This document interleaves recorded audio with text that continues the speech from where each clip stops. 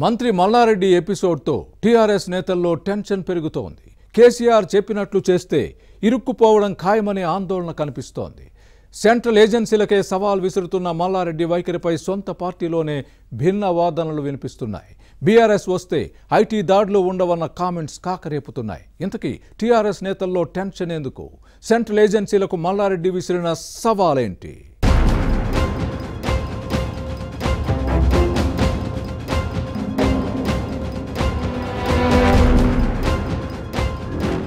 మంత్రి మల్లారెడ్డి టార్గెట్గా జరిగిన ఐటీ దాడుల ఎపిసోడ్ తెలంగాణలో హాట్ హాట్గా మారింది.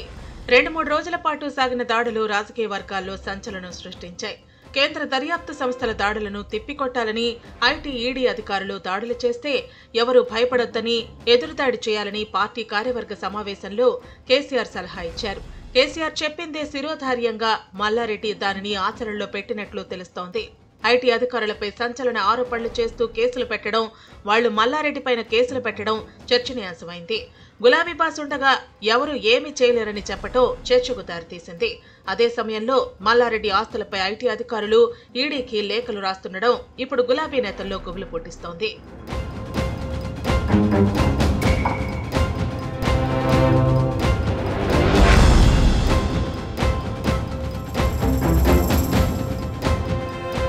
మరోవైపు కేంద్ర దర్యాప్తు సంస్థలు దాడి చేస్తే ఎదురుదాడి చేయండని మొన్న మధ్య కేసీఆర్ పిలుపునిచ్చినట్లు టాక్ నడిచింది.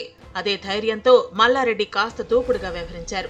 నిజానికి కేంద్ర దర్యాప్తు సంస్థలు సోదాలు చేస్తే ఎలా చేస్తాయో వ్యాపారాలు ఉన్నవారికి బాగా తెలుసు. రాజకీయ ఒత్తిడితో సోదాలు చేసినా వారి పని వారు చేసుకెళతారు. తప్పుడు లెక్కలు సాక్ష్యాలతో ఇరికించే ప్రయత్నం చేయరనే టాక్ ఉంది. కానీ మల్లారెడ్డి మాత్రం కేసీఆర్ చెప్పారని వారిపై ఆరోపణలు చేశారు. కొట్టారు. కేసులు కూడా పెట్టారు. దీంతో ఇప్పుడు ఆయన మరింత మూల్యం చెల్లించాల్సి వస్తుందన్న కామెంట్స్ చక్కర్లు కొడుతున్నాయి. మల్లారెడ్డి విద్యాసంస్థలకు గండం పొంచి ఉందనే గుసగుసలు వినిపిస్తున్నాయి.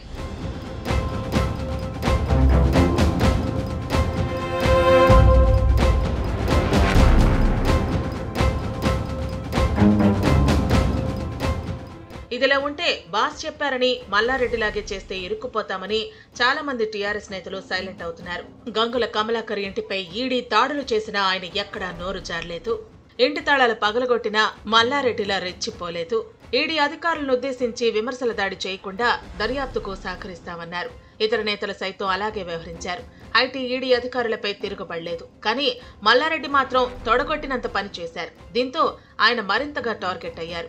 కేసీఆర్ వెనక ఉన్నారు. ఆయన మాటే శిరోధార్యమని భావించిన నేతలు ఇప్పుడు మల్లారెడ్డి ఎపిసోడ్ చూసి కాస్త భయపడుతున్నట్లు ప్రచారం జరుగుతోంది.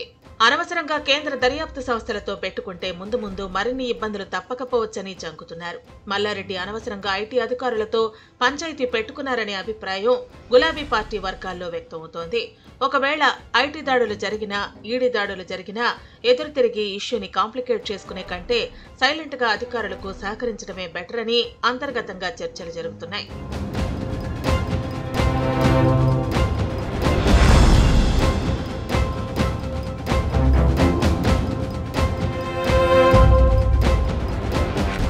ఇక ఐటీ అధికారులతో పంచాయతీ పక్కన పెడితే మంత్రి మల్లారెడ్డి తాజాగా చేసిన కామెంట్ చర్చనీయాంశమైంది. బీఆర్ఎస్ అధికారంలోకి వస్తే ఐటీ రైట్స్ ఉండవన్నారు. దీనిపైన టీఆర్ఎస్లో భిన్న వాదనలు వినిపిస్తున్నాయి. ఆయన మాటల్లో సొంత పార్టీ నేతలే తప్పుపడుతున్నారు అదేమైనా బీఆర్ఎస్ విధానమా అని ప్రశ్నిస్తున్నారు. అధినేత ఏమైనా అలాంటి సమాచారం ఇచ్చారా? నిజంగా కొత్త పార్టీ విధానపరమైన నిర్ణయం తీసుకుంటే అది గులాబీ బాస్ మాత్రమే ప్రకటించాలి. కానీ మల్లారెడ్డి ప్రకటన వ్యవహార శైలి ఆయనకే కాకుండా టీఆర్ఎస్కు కూడా నష్టం చేస్తుందనే అభిప్రాయం వ్యక్తమవుతోంది.